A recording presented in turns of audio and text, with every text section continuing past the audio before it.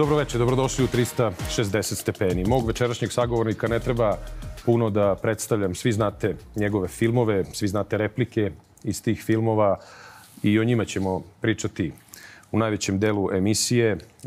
Filmski pozorišni reditelj i pisac, a zašto sam često je ranije govorio da ne voli da ga zovu pisac i zašto misli da možda nije pisac.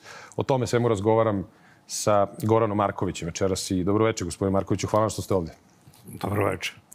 E, pre svih ovih stvari koje sam sada pomenuo, bih voleo da pričamo o nekoliko aktualnih stvari. Ja se nadam da će se možda nešto promeniti dok mi završimo snimanje ovog razgovora i to imamo nedelju dana do emitovanja emisije, ali bili ste pre nekoliko dana na protestu u Novom Sadu ispred Filozofskog fakulteta. Da. Kako vam izgleda uopšte to sve što se desilo? Kako biste opisali da grupa studenta, videli smo tamo svašta, nose majice sa ligom, likom Milorada Ulemeka i oni su zatvorili filozofski fakultet i oni sada u blokadi. Ja nisam siguran da su unutra studenti. Pre svega, e, mi smo došli tamo iz Beograda, Duško Petričić, moj prijatelj i ja, i zatekli smo e, profesore i studente filozofskog fakulteta ispred. A on, od, iz unutrašnjosti su do, do, dopirali nekakvi glasovi vrlo čudni. I neke sirene. Neko, ne, nešto što nije artikulisano uopšte. Tako da ja nisam siguran da bi studenti baš puštali takve glasove. Da.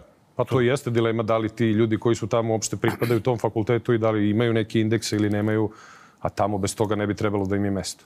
Pa ne znam, meni nije tako izgledalo.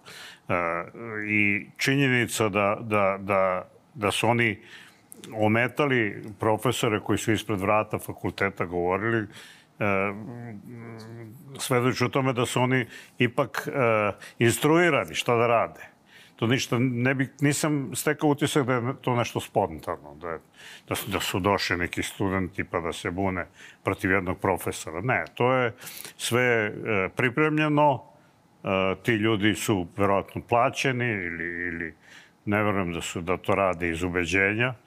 I drugo, iz, po sudeći, kažem, po zvukovima i po tome što sam video i ja na televiziji kako izgledaju, to su neki primitivni, tako, možda navijači neki uh, ili tako nešto, najviše.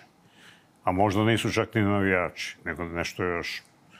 I, nešto šta vam to govori o situaciji, trenutku u društvu u kom se u kom se sada nalazimo. Stalno se priča kako smo duboko podeljeno društvo, stalno se priča o tome da treba da se sedne za sto, da treba da se vodi dijalog neki, a onda imamo ovakve scene 2024. godine koje gledamo i kako vam se čini, u kom pravcu sve to ide?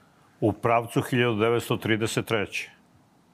Minhena 1933. Tada su uh, pripadnici SA odreda koji su bili paravojna uh, organizacija fašistička, takođe činili slične stvari. Jel? I e, mislim da, da, je, da je ovo e, regrutovanje e, boraca za ne znam šta iz, ob, iz oblasti koje, koje, koje je prilično nisko, sa dna, jel? podsjeća na to. Tako da ja sam imao, i to je opšte bilo mišljenje tamo, da sve to liči na te crnokošuljaši, ili oni su imali brown košulje sa odredi. Na te ko, e, e, ljude u brown košuljama, ovi su o, o, obrijanih glava i e, u, crnim, u crnim majicama su, ali to je tako, jedna paravojna formacija koja e, se trudi da maltretira e, ljude i imaju određene ciljeve na, na koje udaraju. Recimo, filozofski fakultet Ja ne znam zašto bi neko napao filozofski fakultet. Pogotovo što je e, kao povod za to e, Da, izjava profesora Dinka Gruhonjića da, koja je izvučena iz konteksta. Te on, on se šalio on, u toj... On je čovek, on je čovek, koliko sam ja shvatio, napravio neki vic u vezi svoga imena. Da dosetku, jel? Tako je. A oni su, jedan a, represivni aparat koji, koji posjeduje ova država je to iskoristio, prepakovao u nešto deseto, jel? I predstavio, a sad su ovi borci da se oni izbacili, rekao ne znam šta. Ništa da. nije rekao. Našalio se u vezi svog imena, ali E, izgleda da su šale e, u represivnim sistemima jako opasne. Da. No, mnogi su čitali Kundarinu šalu pa, pa su videli šta to znači. Bog toga može da se izgubi i glava. Prema tome, ne treba se šaliti uopšte. Ne treba se šaliti. Dobro, mož, mogu Duško i Korak da se šale i to je dovoljno. Ali evo, došli smo i u tu situaciju, korak si i bio ovde u ovoj emisiji pre nekoliko nedelja. I kako smo došli dotle da ljudi, na primjer, ne razumeju šalu, ne razumeju satiru, ne razumeju na kraju krajeva crteže i karikature? Po, Ili ti ljudi dobijaju pretnje i Duško Petričić i... Pa nije, nije da ne razumeju, nego to je... e, Ja mislim da ova vlast ima jedan čitav e, odeljak koji se bavi konstruisanjem raznoraznih zavera, konstruisanjem raznoraznih e, urota i tako dalje. I oni koriste, ja sam recimo to na svoje kože osetio. Ja sam na, napravio takođe neku kao šalu i rekao sam da bi ovaj spomenik Nemanji sa onog trga ispred stanice trebalo premestiti u Marinkovu baru. Da. Ali to je, znate, moja baba je govorila Marinkova bara, to je negde daleko. Da. To je metafora za to. A onda je neko iz tog aparata to iskonstruisao i rekao, aha, sad ćemo ovo da iskoristimo. U Marinkovoj bari žive Romi. Da. Znači, on, to je sve protiv Roma.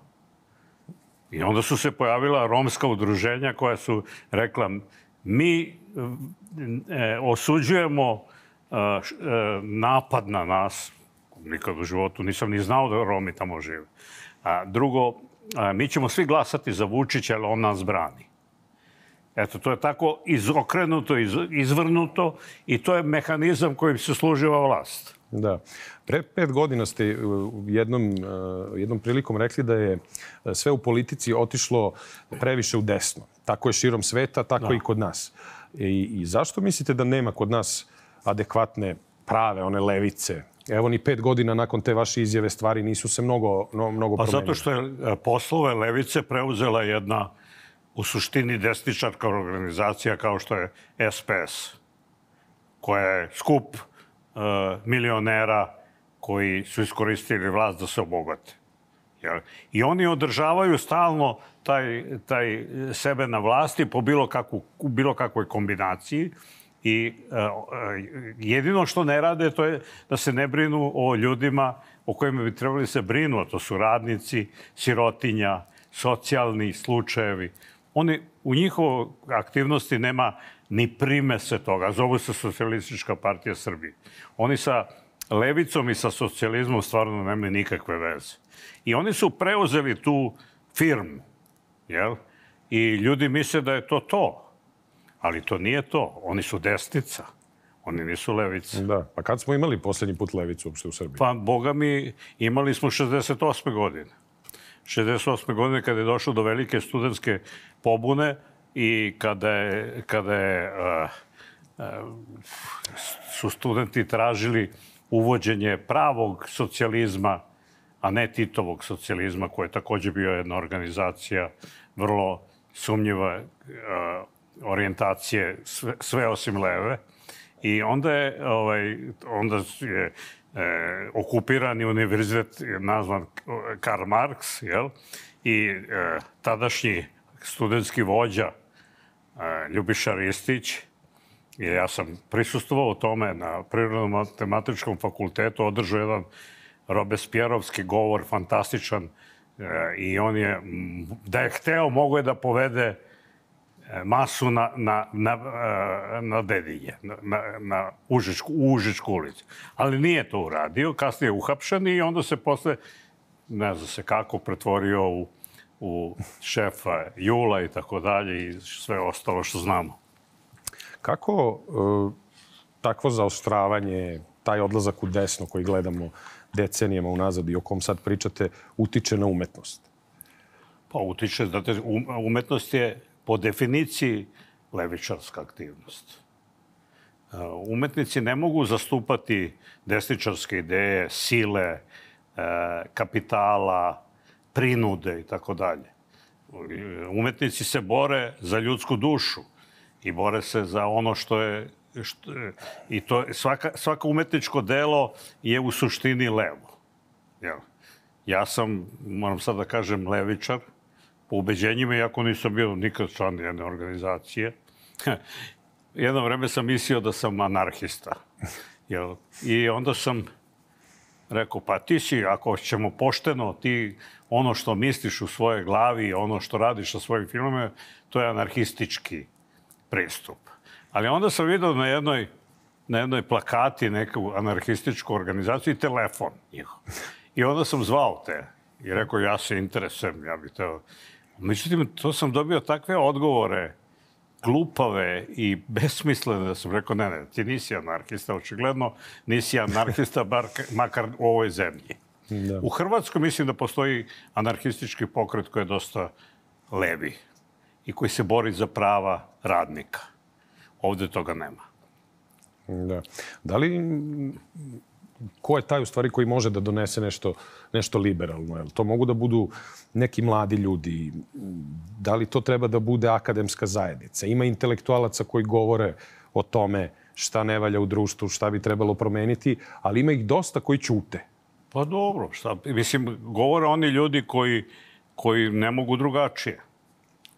Postoji jedan broj ljudi koji jednostavno neće da ćute i e, nije im važno šta će se desiti sa njihovim karijerama, sa njihovim e, položajima i tako dalje. Jednostavno, važnije im to da izbaci iz sebe i da kažu istinu nego Tako, a drugo, znate, jedan ovaj e, e, režim i prethodni, naročito Miloševićev, je istarao iz zemlje jako mnogo pametnih mladih ljudi. Znate, jako mnogo. To se meri ve, već stotinama hiljada. Hiljada, da. I uh, ti, umesto da su oni ovde i da razmišljaju i da preduzimaju nešto, oni sede negde u, u Australiji ili u Kanadi i čitaju sa interneta šta se de, dešava ovde i odlaze u, na svoje poslove ne razmišljajući više o tome. Ali mislite da, da neki od njih, pošto je to, na primjer, ono što preovlađuje na, na društvenim mrežama, na primjer, kada gledamo komentari ispod raznih vesti na portalima, na, na, na video snimcima, nekad upravo ljudi koji odu negde daleko i nemaju više direktan kontakt ovde, to su sada već, kao što ste rekli, generacije. Generacije ljudi koji su tamo, upravo oni odu u to desno, skrenu i onda oni Pa ne znam, ja imam, ja imam prijatelje koji žive već dugo, koji su i moji bivši studenti, i bivše kolege koji žive, recimo, u Severnoj Americi, oni nisu desničari. Bar ne znam, ja, ja ne bi održavao kontakt s njima da su desničari. Ali oni nisu ni levečari, oni jednostavno su se utopili u jedan drugi sistem i oni ne mogu da, ne mogu da učestvuju ni u kakvom e, osvešćavanju ljudi. Jednostavno, oni mogu samo da čitaju šta se dešava. Da. Da li bi u ovakvoj situaciji, u, u ovom društvu u kom se nalazimo i o čemu pričamo, vi snimili ponovo neki film? Jednom sam negde pročitao da ste napisali ili ste rekli u nekom intervju da vas verovatno niko ovde više ne bi pustio da snimi. Da, ja sam siguran da sam završio karijeru. Uh, mislim, uh, uh, ova vlast toliko zatvara krug oko mene. Ne samo ovaj film što sam dobio pa su mi oduzeli. Da. Jelena Trivan. I ostali iz tog upravnog odbora na čelu s njom i sa mojim kolegom Lekićem, Miroslavom Lekićem. Oni su svi ladno odluku filmskog centra da se meni daju sredstva da snimam film ukinuli. Bez obrazloženja, bez ičeg. Ovaj. I onda e, se desio niz stvari iz kojih sam ja zaključio da su oni a, čvrsto rešili da meni ne dozvole da više i radim i da jednostavno Tako da sam ja sam se na kraju i pomirio s tim, šta da radim. Mislim... Šta je moglo da im zasmeta tako strašno u tom filmu? Ili je to, to je bio da je to projekat koji se zvao Doktor D. Da. O, I oni su prepoznali u toj ličnosti Karadžića. Ali ja ne, ne mislim da je projekat njih, nego je, sama moja pojava. Ja sam toliko toga, pre toga rekao i, i, i, i iskazao javno da su oni verovatno preko mene udarili putaču i ja više film ovde neću nikada dobiti. Dobro, mislim, to ima i svojih prednosti. Naprimer, mogo sam da imam toliko i toliko godina, mogo sam da snimim nešto što je slabo i da tako završim karijeru. Ovako oni su mene sprečili i on, imam pred sobom makar opravdanje da sam završio karijeru zato što mi ne daju da, da snimam. Jel? E, pitanje, jel, nekako morate završiti. Jel? Možda je bolje ovako nego onako. Možda je bolje da ostanete nedorečeni nego da neko, neko da, da snimite nešto što je, što je slabo. A je vam žao? Je bilo toga još, na primjer, stvari koje ste hteli da uradite i da snimite, Pa a bilo, da to nećete? Pa ja sam, ja sam, ja sam se sticam okolnosti e, počeo da bavim pisanjem upravo zbog toga što neke projekte nisam mogao da realizujem. Naprimjer, ja sam 20 godina posvetio pokušaju da snimim film o Golom otoku.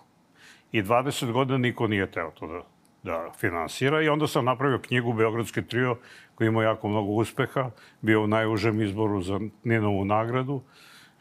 Onda od ovoga projekta koje, koje takođe mi je oduzet, sam napravio knjigu koja je izašla, jer Doktor D se zove. I uh, jednostavno, uh, znate, pisanje i režiranje nije to toliko različito, pogotovo u mom slučaju. Ja, uh, kad, kad razmišljam o tome šta sam ja radio celog života, uh, moram da kažem da sam ja nekakve ideje, nekakvu fikciju pretvarao u nešto što je verodostojno ispred kamere, da liči na život. Znači, neke izmišljotine sam ispred kamere e, oživljavao i činio ih uverljivim. To je moj posao rediteljski. Da. A sad sam to prebacio na knjige i ja imam jedan specifičan stil gde se bavim e, dokumentima i kvazi dokumentima, izmišljotinama, ali koje sve imaju formu nekakvu objektivnu, kao da je to istina. Tako da recimo u tom Beogradskom triju sam ja masu stvari ne izmišljao, ali ljudi su poverovali tome i uh, jedna žena mi je rekla, a šta je bilo sa Dragicom posle? Ja kažem, pa ništa, ja, ta Dragica ne postoji, ne ja sam nju izmislio. Da. Jel? Tako da je e, ta, ta pretvaranje izmišljotina u nešto što liči na život, sam ja po, nastavio da radim u, u okviru literature. Ali kad pominjamo već literaturu, kad sam ja donao taj tekst, Beogradski trio, urednik ovaj, Dejan Mihajlović mi je rekao jednu zanimljivu stvar. Rekao je, pa znate šta, ja prvi put čitam knjigu koja je roman, a u kojoj nema trunke literature. Tako da ja, ja se trudim u stvari da kao pisac se ne bavim literaturom. Jer ne znam to. Ili nisam, kasno sam se setio ili nisam dovoljno... Ali imaju uspeha vaše knjige i zato to sam i u najavi Pa dobro, rekao. ali one su posebna takav, takva, da. takav postupak, znate, koji liči u stvari na režiju. One su filmovi u pisanom obliku, ali ne kao scenarij, nego kao materijal za scenarij. Tako da evo sad sam završio jednu knjigu koja će biti, pretpostavljam, vrlo interesantna i po istom tom principu. Zove se Zavod i ja sam krenuo od jedne, meni su činilo, našao sam to, jedna gospođa iz Muzeja nauke i tehnike napisala rad Avram Farkić i njegov zavod za lečenje e, vodom, elektricitetom i švedskom gimnastikom. I meni se to učinilo stvarno zgodno. I onda sam počeo da kopam po tome i utvrdio sam kako je u tom, to je stvarno postao taj zavod. I nije, bi, nije tako bio besmislen kao što, kao što zvuči naslov, jel? Da. Ovaj, ali tu, oko toga su bili okupljeni neki e, lekari, jevreji sa Dorčeva. I među njima je bio Hugo Klein. Hugo Klein je naš prvi psihoanalitičar koji je uh, ovaj, uh, na pola, pola karijere prekinuo svoju lekarsku praksu i postao umetnik, postao reditelj. Bio je kod mene na fakultetu da sam ja radio profesor. Ja sam predavao iz njegove knjige osnovni problemi režije. Znači, on je neko ko je potpuno promenio agregatno stanje u kome se nalazi. Od lekara, psihijatra, psihoanalitičara je postao umetnik. I onda je mene počeo onda kopka. I onda sam ja zapravo tu knjigu obrnuo na, na, na, na njega. Da, na priču o njemu. Na priču o njemu. I to, to, ja mislim da će to biti dosta interesantno. Da. I, I negde ste rekli da ste u filmovima pokušavali da vam je to u stvari bio posao da e, komične situacije uozbiljite, a da, da one neke ozbiljne ili neke, ajde da ih ne zovemo tragične situacije, da njih napravite da budu komične. Pa to je, e, znate, u suštini u suštini humora ili smeha. Smeh. Ja smeh smatram nekom vrstom jaukanja. Zašto? Zato što je ne može biti smešno nešto što ne boli čoveka. Znači, samo stvari koje, koje, koje ga tište mogu da se okrenu da budu smešne. Ja. Ovaj. Jednom sam u pozorištu ovaj, gledao neki komad gde neko napravi vic sa aluziju na drogu. I onda sam slučajno gledao gledalište i samo nekoliko ljudi se sito nasmejalo na to. Očigledno imaju problem sa tim. Ili u familiji, ili lično, ili šta znam šta. Znači, samo stvari koje, koje su... Ne možete, e, ne možete e, e, se baviti u komediji stvarima koje nisu tragične. Znači, odnos između tragičnog i komičnog je vrlo blizak. I često se dešava da, da dolazi do tih inverzija. I lepo je to, znate, kad, kad vi obezvredite nešto što je tragično sa nekim štosom, sa nekom cakom. Jel? Olakšate to. Ne, ne idete na patos, ne idete na, na teške. Ili obrnuto, ako, ako je nešto ovaj, e, smešno, da okrenete na nešto što je, što je jako ozbiljno. I pokažete gledalcima na što se taj humor odnosi. Eto, to je to. Da. A kako izgleda sada kad poredimo i pričamo o tome e, režiranje i pisanje? Čuveno je ono koliko ste verzija scenarija napisali za nacionalnu klasu, da, na primjer. jako mnogo. Jako mnogo, da. Kako sada to izgleda kada, kada pišete? Je li isto... Pa sad, pazite, prvo sada postoje kompjuteri. U ono da. vreme sam lakše, ja da. šest papira, pet indiga i kucao sam kao manijak. Jel? Ovaj, imao sam jednog papagaja koga je nerviralo moje kucanje i koji mi je sedeo tu i grizo me za uvo sve vreme dok sam pisao tu nacionalnu klasu. Ali hoću da kažem, e, i sada je tako, sad čuvate verzije, jel? Sad je lako pretumbavati. Uopšte digitalna tehnologija je u mnogome olakšala rad na filmu. I u montaži, u obradi, i zvuk je naročito sa digitalnom tehnologijom narastao. Jel? Nekada je zvuk bio samo ajde da ozvučimo film, pusti nešto i ne kaže on šta ima i to je to. Sada zvuk prelazi u jednu prvi plan. Tako da je E, ja mislim da je e, sada lakše zapravo pisati. Ja sam e, počeo da pišem na kompjuteru još kada je kompjuter pronađen. Bio je tako jedan, zvao se Spektrum. Da. Jedna mala tabla koju ste prikačili za televizor i ovaj, na televizor je bio monitor, a vi ste kuckali na tome i onda ste to čuvali sejovali ste to na diktafon. Zvučni je bio zapis. Da. I onda vratite sa diktafona i to. I onda se pojavio prvi program za pisanje, zvao se Cheerwriter. I ja sam bio jako napaljen na kompjutere i našao sam taj program i učito sam taj program. I onda sam rekao, ajde nešto da... I počeo sam da pišem. Iz toga je proizašao scenario za već viđeno. Mm -hmm. Znači, neka vrsta, kako da kažem, taj mi je kompjuter bio kao psihijatrijski otoman. Kao da sam se na neki način otvorio, jer je to bila neutralna stvar i mogao sam bilo šta da napišem i to nema papira, nema ničega. Jel? I bio sam slobodan sa tim. I sad je zapravo mnogo, mnogo bolje pisati nego kada ste pisali, pogotovo, recimo, Pomenuli ste Duška Kovačića. Duško Kovačić i da nas piše rukom. Da, bio je i on. Ovde u emisiji da. pričao o tome. Ja da. sam mislio da, da piše makar na kompjuteru. Znam ne, da mobilni ne, ne, telefone koriste. Pouzdano bismo radili da, dva filma. Da, rekao je. Da ovaj, da kompjuter ne koristi. On ne koristi kompjuter, on piše lepo rukom. Da. Ali ja koji, koji nisam pisac i koji stalno trebam nove verzije i poboljšanja i, i e, dileme imam u vezi pisanja. Ja, meni trebaju stalno nove verzije i nove doterivanja i pret, pretumbavanja i kombinacije slova, reči, da. scena, svega toga. I to je mnogo lakše na kompjuteru. Hvala vam, hvala vam na ovom delu razgovora. Ovde pravimo kratku pauzu. Ostanite uz 360 stepeni.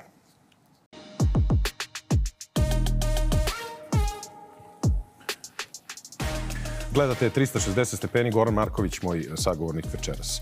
Uh, ajde da pričamo o filmovima vašim, to bih saista voleo da, da o tome razgovaramo. I, I video sam da ste film majstori, majstori bar ste tako to opisali u tom trenutku, ispravit ćete me ako grešim, ali relativno kratko snimili zato što je bila takva vrhunska i glumačka ekipa i da su svi to negde radili iz nekog svog zadovoljstva ličnog i da je to praktično ste se igrali. Pa znate kako, ne, ne radi se samo o zadovoljstvu, radi se o okolnostima. Mi nismo imali novca, napravili smo novu firmu koja je trebala da bude nezavisna od ovih državnih producentskih firmi. Zvala se Art Film 80. I onda su mi rekli ti moje kolege koji su se okupili, ajde ti si ovaj, imao najviše uspeha, napiši nešto i snimi. I ja sam napisao za desetak dana tu priču i ovaj, onda je, ali imali smo samo traku i ništa više. Imali, pustili su se jednu školu na Julinom brdu, Đorđe Krstić, da snimamo. I snimali smo samo noću, zato što nismo mogli da snimamo da, dok deca... Dana. I onda smo 18 noći to zapravo snimali. Samo 18 dana. Film inače traje 35-40 dana radnih snimanja. Ovo je bilo 18 dana. Ali bilo je jako... Ljudi, tu su se ljudi okupili oko teksta tog.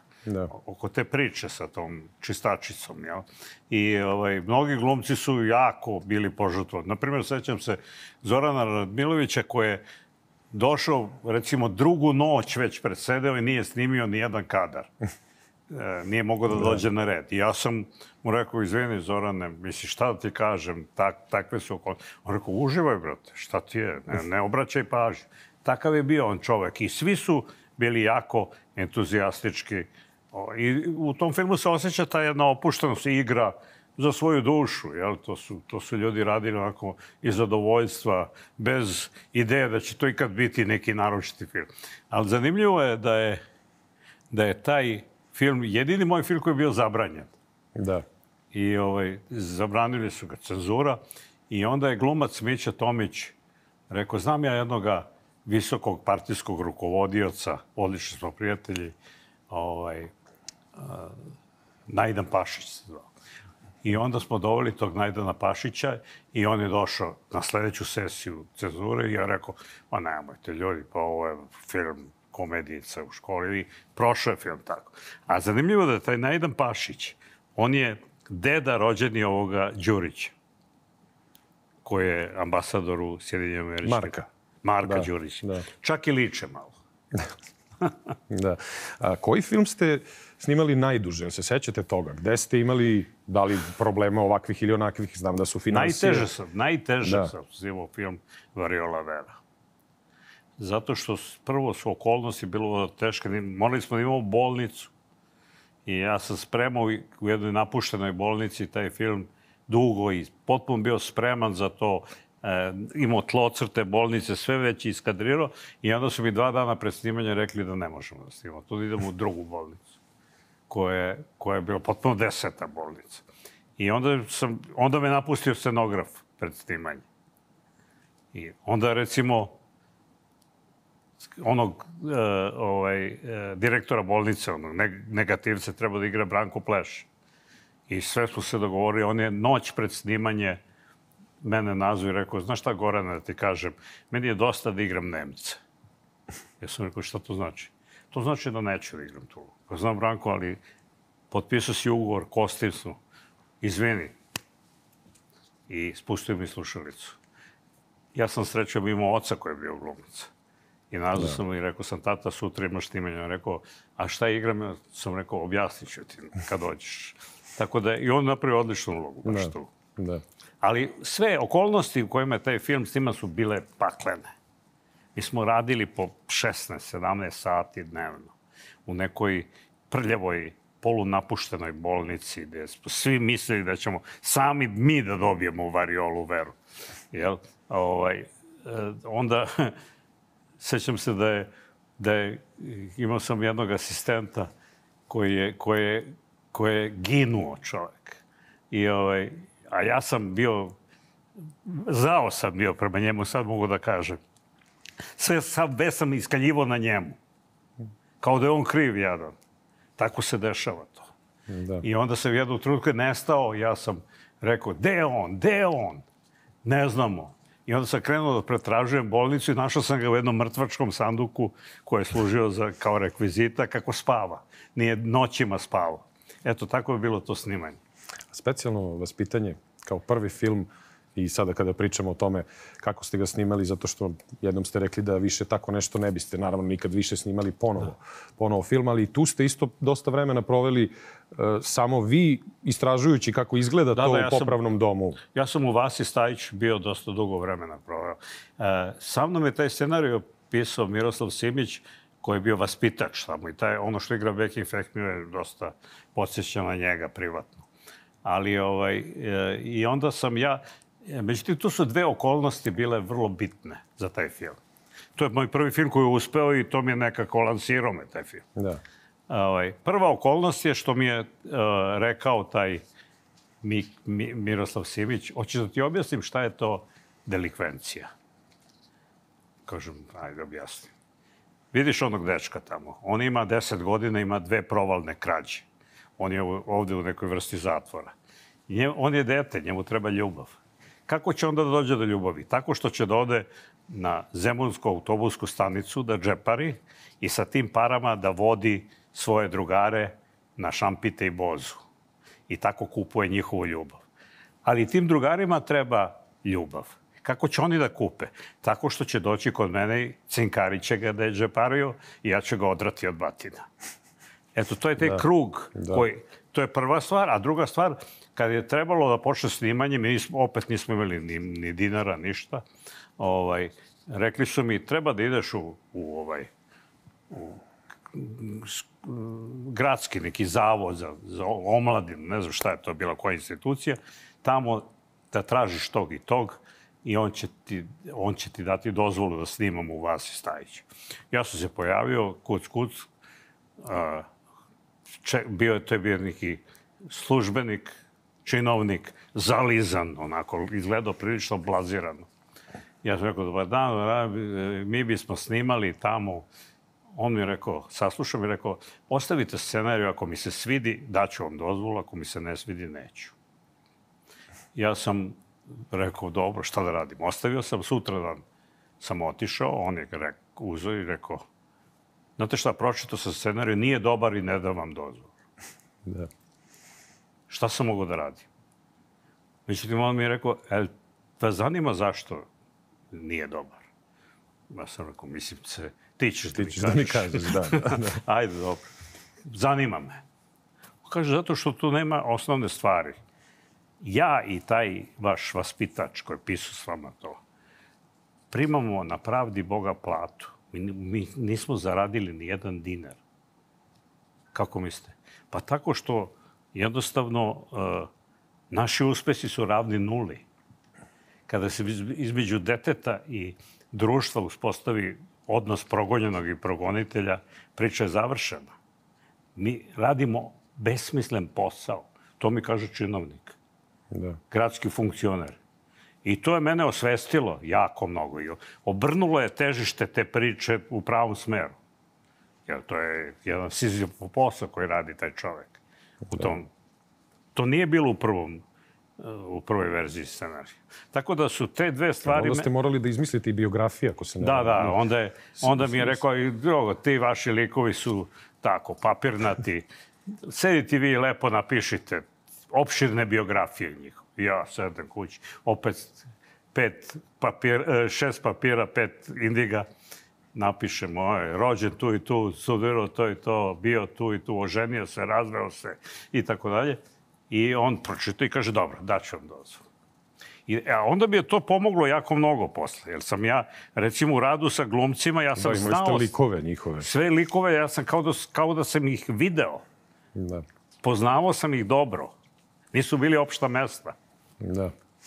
E, Tajvanska kanasta, meni je jedan od omiljenih filmova. Da. I, I to sam teo da vas pitam, da li e, mislite da mene to podsjeća na neke stvari koje se dešavaju danas u društvu? Pa ima da nekih analogija, tako što ta mafija arhitektonska i tako dalje. Da. Da li, Urbanistička. da li nešto liči na to da, da u, u Srbiji danas igramo u stvari neku igru koja nema pravila, da nas neko tera na to?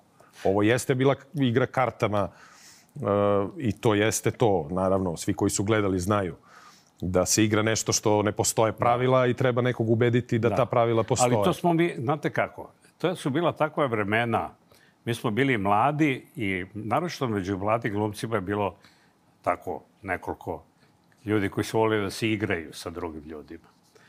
Lane Gutović je bio naročito takav.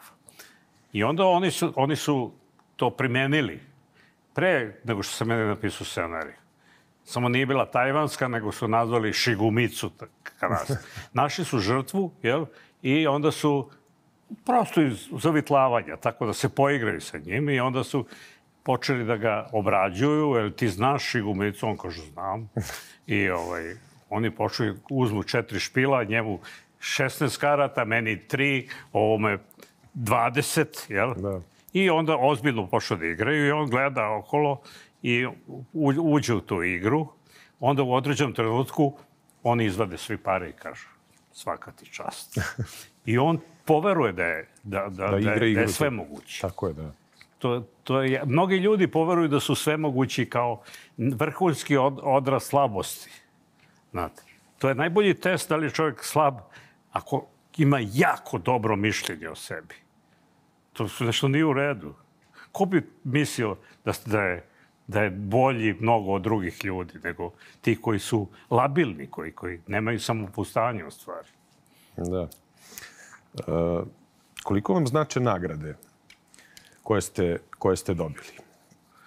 Pa, u početku su mi značile. Recimo, za specijalno vaspitanje sam dobio dosta nagrade i onda su one mi omogućile da snimim nacionalnu klasu po dosta dobrim uslovima, ovaj, produkcionim uslovima, jel? I, jer su se onda, u to doba su se i preduzeća koje se proizvodila filmove bila nagrađivana od Ministarstva kulture po broju nagrada, učešću na festivalima i tako dalje.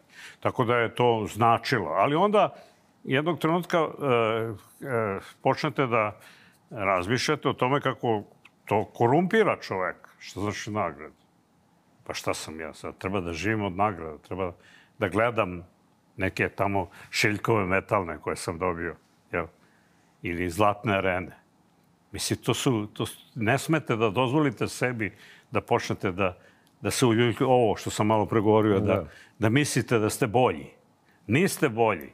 Treba da se borite dalje, koliko god možete. Jel? A ne da, da stavite tačku i kažete ja sam. Ja sam imao jedan sukup sa jednom mojom saradnicom koja mi je na kraju u besu rekla, ali ja sam veličina. Jer nisam mogao da verujem sobstvenim očima. Da ona kaže da je ona veličina. Kako može neko da misli o sebi da je veličina? Pa to nije normalno. Da. Da. E, puno ste snimili dokumentarnih filmova da. i to sam, to sam htio da vas pitam. Poludeli ljudi, nevažni junaci, to su dva dokumentarna filma protiv tadašnjeg režima. Da. A, da li mislite sada da li vam je nekad palo na pamet kada bi se Znamo šta se tad dešavalo, da se sad ne vraćamo na to. Kada bi sad trebalo snimiti dokumentarni film o onome što nam se sada događa, šta bi to bio? Koji bi to žanr bio? Bi to bila drama, komedija ili tragedija? Pa, znate šta? Ovo je trenutak kada je e, stanje u društvu na najnižoj tački. To je trenutak kada smo na dnu. Jel? Ne govorimo o državi, govorimo o društvu. Da. Jel? E, ljudi su nekako izgubili e, osjećanje za druge ljude. E, tu skoro sam doživao toliko nekih šokantnih scena, naročito recimo od žena, koje su postale nekako, izgubile su atribut ženstvenosti, te koje sam sreo, i postale su agresivne, postale su skoro da su, da, da, da, da su uzele neki muški oblik, jel? A pritom su mlade, lepe žene, jel? Ovaj. Tako da, e, sve se to promenilo. A, muškarci su naprotiv postali jako pihtijasti i postali su onako se, pers. Jel? Nema nigde odlučnosti.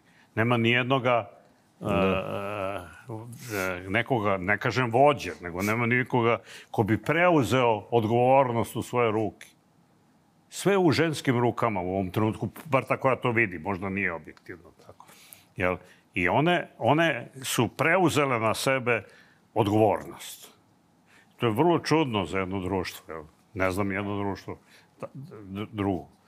Jel? I e, ja verujem da, da taj neki, kako, neko to zove feminizam i šta ja znam, može da nas na neki način oslobodi. E, Jer, jer, e, e, ovi To mislite zbog energije koju imaju? Pa ima, ne znam šta je, Da. ali, znate. E, znate šta, na kraju krajeva, pa ovo čovečanstvo je prošlo i kroz fazu matrijahata. Nije rečeno da to ne može da se ponovi. Da, da, jel? Tako da je, da je ovaj, skoro sam radio nešto, možda je sad i suviše opšen. Čitao sam skoro e, Zlatno runo. To je jedan mit fantastičan grčki, u kome se radi o tome da je jedna grupa argonauta, Argonauta krenula, da. krenula da vrati relikviju, Da. ogrtač boga Zevsa, koji je otet negde tamo oko Crnog mora. Ali oni moraju da pitaju belu boginju koja vlada Grčkom, da im da dozvolu. Ona je, znači, vrhovno božanstvo. I oni odlaze i vraćaju to. to. Ali šta se dešava? Oni vraćaju patrijarhat. Znači, desila se ta promena. To je mit o tome kako je od matrijahata se prešlo u patrijarhat, po meni. Da. Jel? Tako da je, kako da kažem, te, te stvari uh, muško-ženske su vrlo... Ne, nema više onih vremena kada su ženske tako jedne. Slabiji pol. Đavola su slabiji pol. Radili ste s najvećim glumicama i glumcima. Da. I, I poznato je, bar tako važi neko uverenje, da glumci u nekom trenutku svoje karijere moraju da budu suetni. Da imaju velikih sueta, nekad i među njima i tako dalje. Kako ste vi kao reditelj izlazili na kraj sa njima? Evo sad ste rekli kad vam neko kaže, ne znam da li ste mislili na saradnicu kao glumicu ili nekoga iz druge neke oblasti, kad kaže ja sam veličina.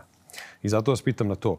e, I koliko to njima može da pomogne nekad u poslu, a nekada im odmogne?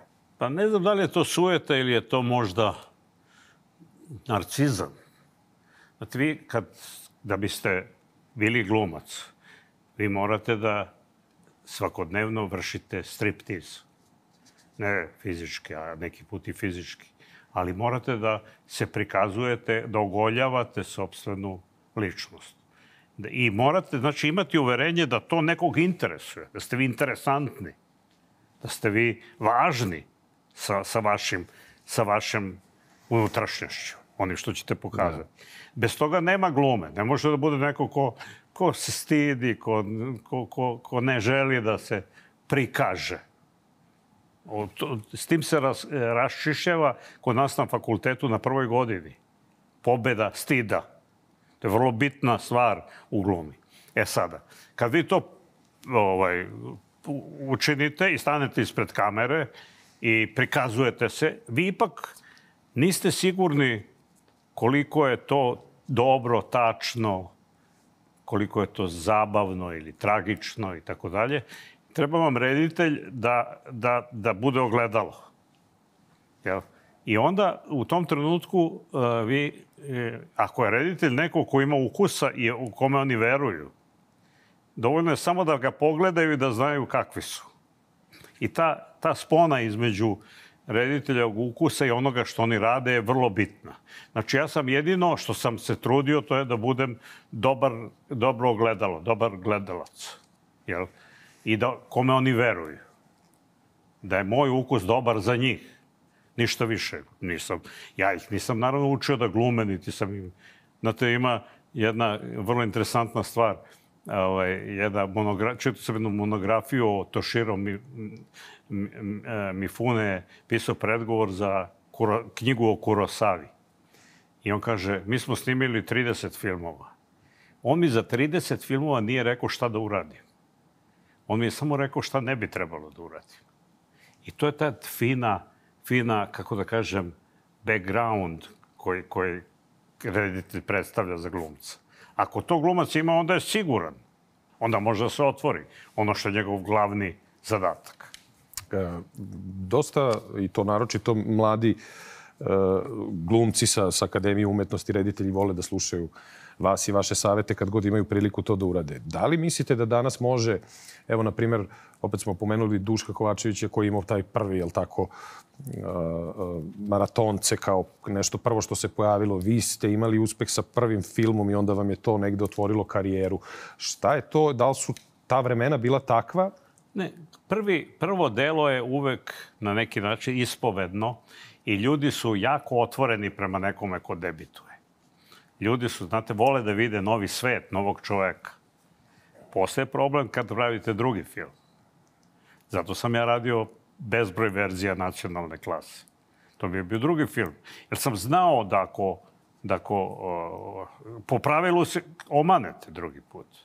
Jednostavno, iz, iz, izvukli ste sebe ispovedili ste sve u, u prvom delu i onda drugo delo dolazi kao neko konstrukcija. E, e, znači, prvi, prvo delo je jako, svi su dobronamerni prema tome. I, i zanima ih, ko ste vi. A drugo, drugo delo, oni već znaju ko ste, sad da vidimo šta, šta imaš Hoće novo. da se potvrdite. Da. Da. Šta ima novo? Da.